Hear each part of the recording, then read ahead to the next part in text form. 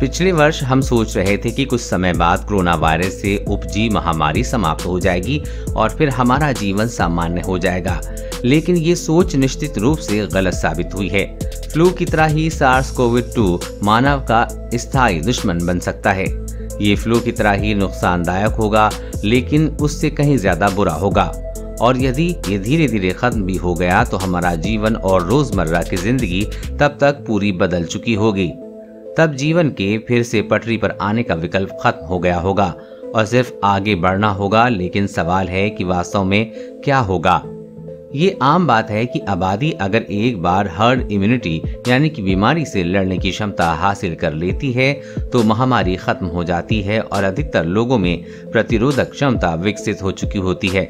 ऐसे में संक्रामक बीमारी को फैलने की आशंका न्यूनतम हो जाती है।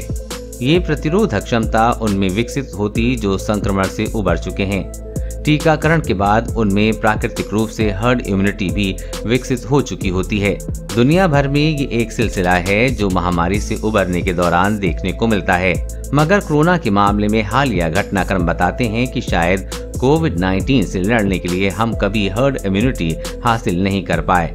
यहाँ तक कि अमेरिका में, जहाँ सबसे ज़्यादा संक्रमण के मामले सामने आए हैं जहाँ दुनिया के अन्य देशों के मुकाबले सबसे तेज़ी से वैक्सीन हो रही है, वहाँ भी ये मुमकिन नहीं हो पा रहा है।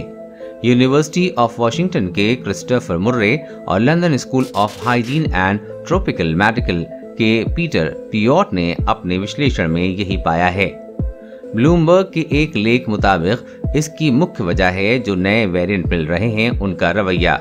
बिल्कुल नए वायरस की तरह है। दक्षिण अफ्रीका में एक समूह पर क्लिनिकल ट्रायल के दौरान पाया गया है कि वो पहले एक स्ट्रेन से संक्रमित थे, लेकिन बाद में उनमें उसके म्यूटेंट से लड़ने को लेकर हर्ड इम्यूनिटी या प्रतिरोधक क्षमता विकसित नहीं हुई और वो फिर से संक्रमित हो गए।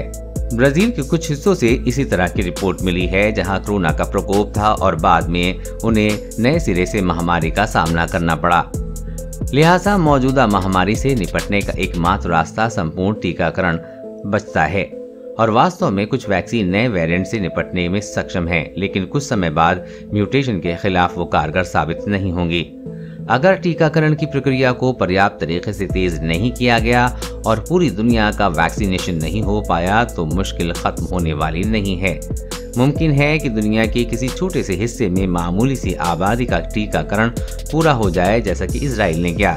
लेकिन ये कारगर नहीं होगा क्योंकि वायरस फिर नए रूप में सामने आएगा और उनकी तलाश कर लेगा जिनका वैक्सीनेशन नहीं हुआ है।